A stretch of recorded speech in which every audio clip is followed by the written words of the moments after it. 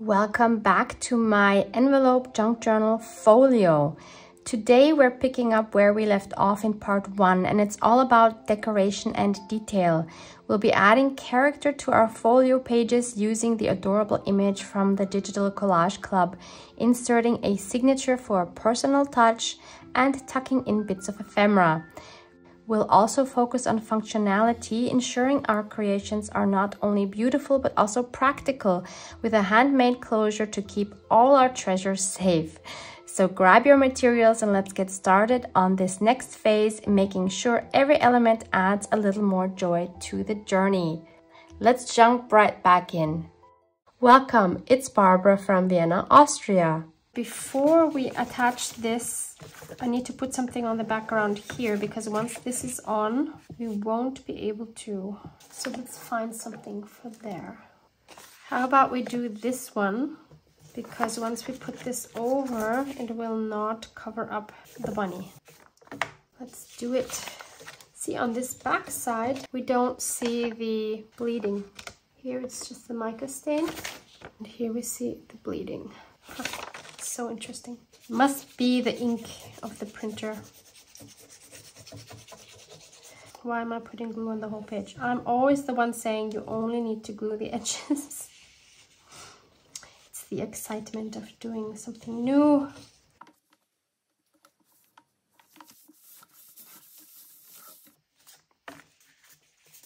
Now before I glue this on, I want to ink up the edges. I'm also thinking cut a corner.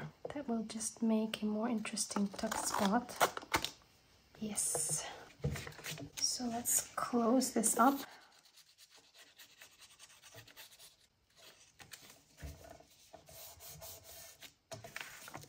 And of course we want something here as well.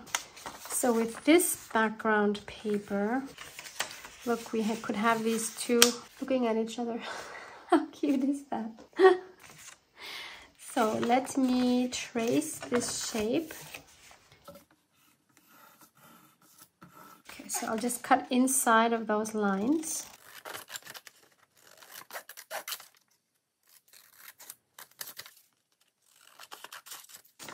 Let's see how we did. Ooh, not bad. Okay, I'll ink that up and then I can glue that down.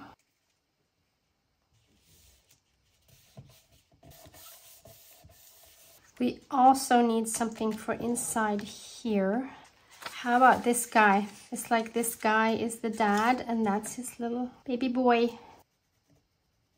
Actually, it makes more sense to make the lines on the back side because I can see them a lot better. Since the image is centered, that should be okay. And height-wise, I won't cut anything off the bottom, but off the top. If I'm unsure, I can just look through the light if those will work. Yeah. And since I'm going to need the same measurement for the outside here, let's just use that. And I'm going to choose this image here. Okay, I'll put it on the back and just trace that so that they're the same. So this is the inside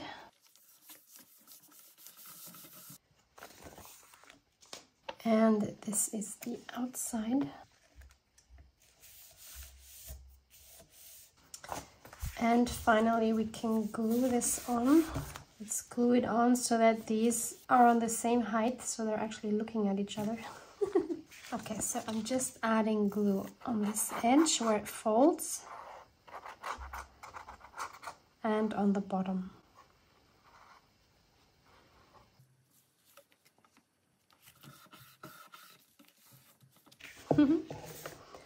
Cute.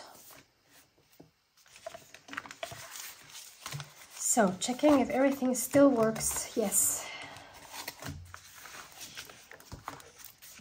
So next I'm going to cover all of my empty surfaces with the pages that I have already prepared, including this here.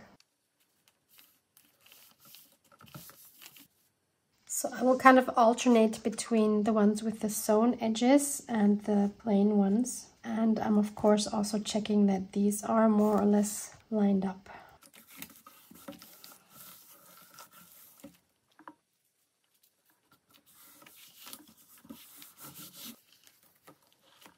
Since this one is a pocket and it's a bit more narrow, I'm going to cut one of these down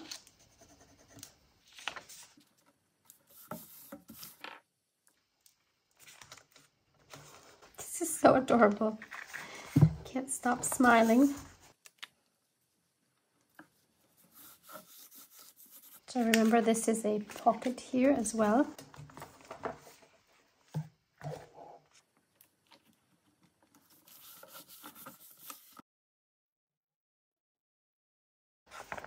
Now we need to do these three outsides. So this here is the front cover.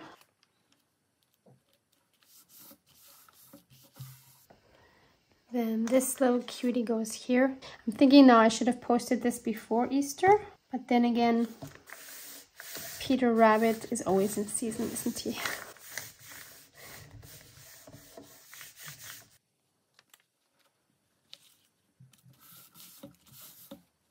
Okay, we have all of our sides covered.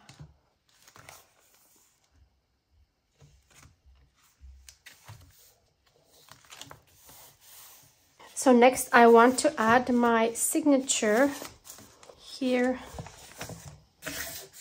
where we added the extra paper strip. Let me bend this back.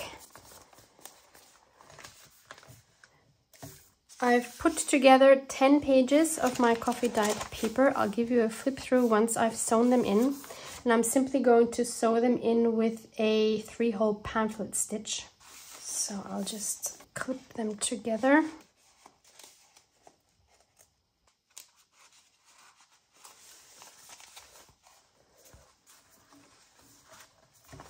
And I think I will just sew right through without even punching the holes before because it's just three holes. Is that smart? No, actually I'll punch the holes. So let's place this where we want it. So then I'll eyeball approximately the middle. And then make a hole on either side that look like they are more or less symmetric. If you want to measure, then please go ahead. And then I'm going to use this beautiful golden thread because why not? And this time I want to take a longer thread. Usually I would take two and a half of the height of my book, but I also want this to be my closure. I'm not sure how much I'm going to need. Let's see, one, two, three, four. I'll do five and hope for the best. Gold thread is a diva, so we'll see how this goes. so since I want this to be a closure, I need to start from the outside. Usually I would start from the inside out.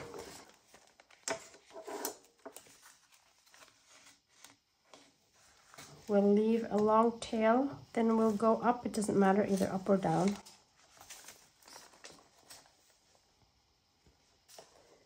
We'll go down. And then out through the middle again.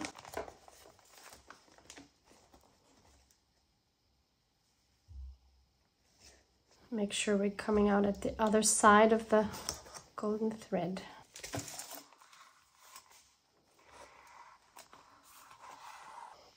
Totally not where it needs to be. so one end is much shorter than the other. Easily fix that. So I want my ends to have the same length. It's easy with a three-hole pamphlet stitch. Okay, then I'll tie a double knot to secure my signature. And then let's see if this works the idea was that once, let's take these off. So this goes here. This goes here and then this closes. And the idea is to just tie this around. And I think I should have made it longer so I could double it. So I might change this later for a thicker thread. I definitely wanted to have a closure because of the signature. It of course gets bulky and then it won't stay closed. Yeah, it needs something thicker. Anyway, that's the idea. We can think about that later. But we need to add some of our ephemera. So the easiest one will be the one up here because we already have a pocket. Difficult. I think this would be a good place to add our folio, which has lots of writing space. So we can put that in here. We could, of course, make this into a pocket by just cutting off a sliver. Let's think about that. We can also, of course, add some ephemera to our journal pages if we wanted to. What about these? So one of these has to go on a left side. Not here. Not here not here, but maybe here we could add this one. Yep, let's do that. So this becomes a tuck spot.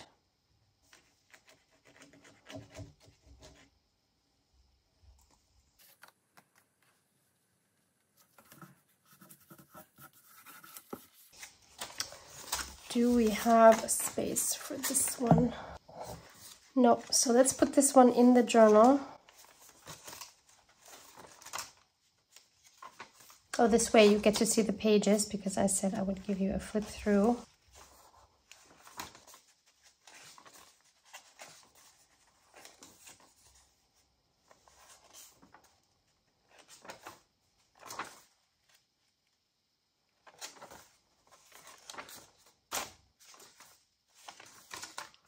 So lots and lots of writing space in here. So let's find yeah, like a page like this, and we could add it here. I'm leaving this top part open so it's easy to slide something in. And I think I'll add all of the pockets here on these pages because I don't really want to cover up all these adorable images. So we'll add one here. Then we'll put one further back, maybe here. Then we have this little guy. We'll put him here.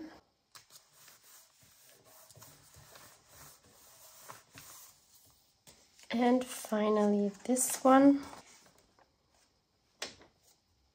Let's put her here.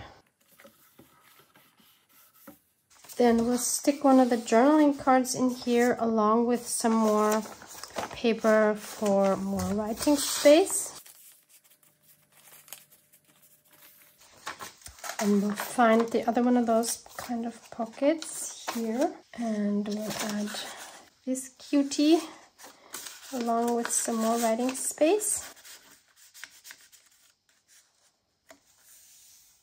And then in this one, we'll add this piece for writing space.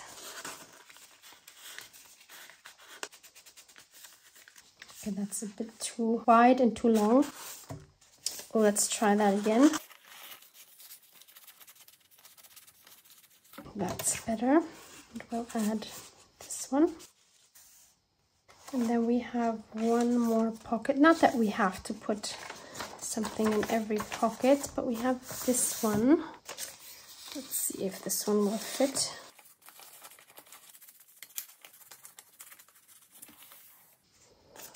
We can stick this one in here. And then we, of course, still have two pockets where we could add something. We have one here. I have a few of these left over, so let's add these for more writing space.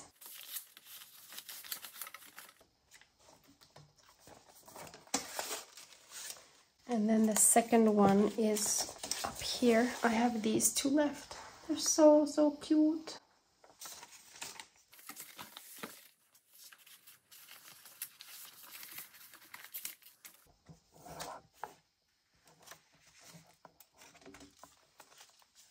Oh, we have another pocket here. So let's take one of these out and put it in this pocket.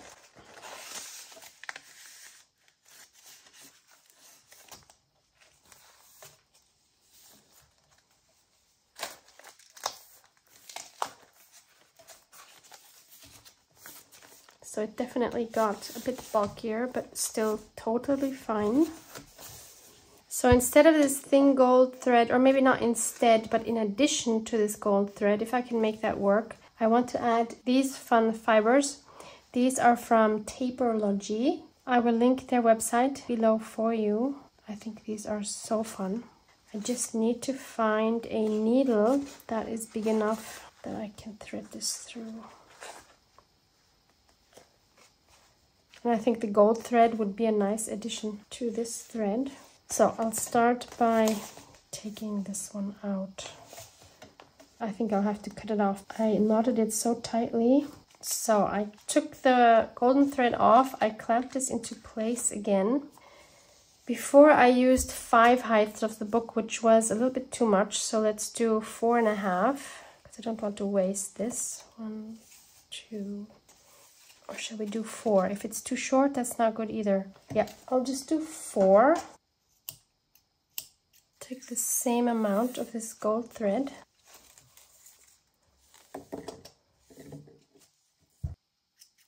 I have one of these big eye needles. You can search for these. These are used for jewelry beading because they have a huge eye in the middle. Let's see if this is going to work. I might not be able to get this through the holes of my book because the holes are very small this might go terribly wrong, but we won't know until we try. Here we go, from the outside in. I don't think this is going to work. Also, this is of course not very sturdy, so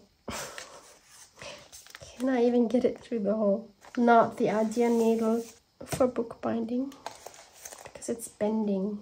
We're doing each page individually because otherwise it's not working. Okay, we're through with the needle. Let's see if we can pull through with the thread. It's very bulky because of course we have it twice. Oh my goodness. Maybe I should punch holes with my hole punch. Yeah, this is not going to go through. Barbara, what are you thinking? So I have these here by Fiskars. There's three different width widths an eighth, one sixteenth, and three sixteenths. So this is what the different hole sizes look like. I think this will be too small, so I'll use the medium one, which is the one eighth. And I'll do this off camera because I'm not going to do it on this glass plate. Basically, you just pull this up, release it, and then it will punch the hole, but it's very, very loud. Another alternative might be a big bite if you have one. Okay, I have my holes. Let's try this one more time. Still difficult. Ah.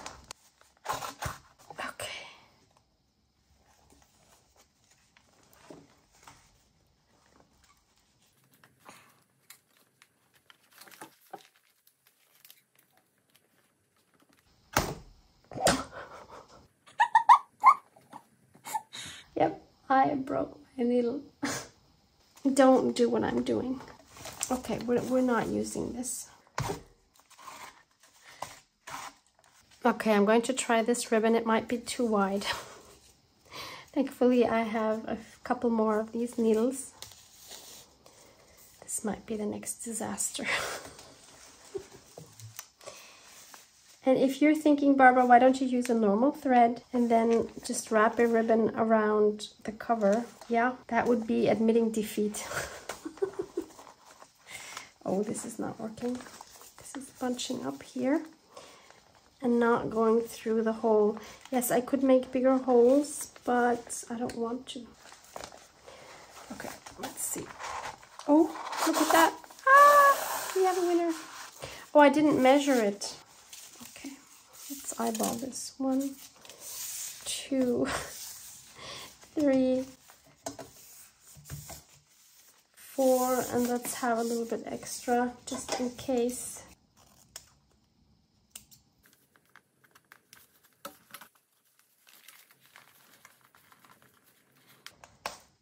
No, I broke the second needle.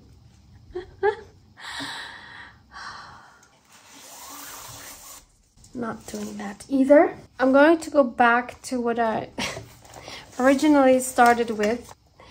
I'm going to sew these on with my golden thread. So we'll just do one, two, and a half. We'll do a very normal three hole pamphlet stitch. I'm admitting defeat. Now I'm kind of bummed that my holes are so big because for this thread I certainly wouldn't have needed it. I'm actually going to go now from the inside out, which is what I would normally do.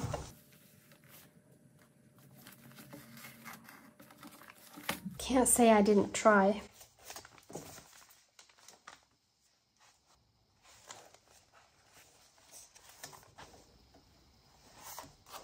Where did it go?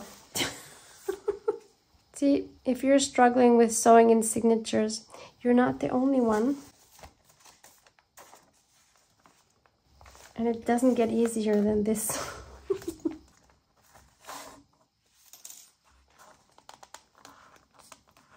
okay, so let's tie this off with a double knot. Make sure it's nice and tight. Okay, and now we can actually go back to what I wanted to do,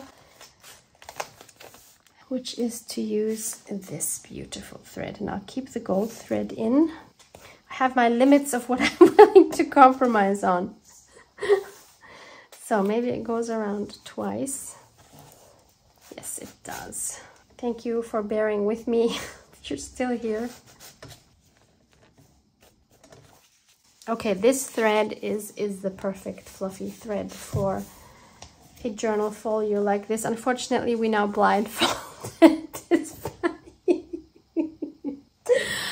oh, poor bunny. If I move it further up, no, it's okay. He's not planted yet, but we don't really see him well. anyway, this is my junk journal folio.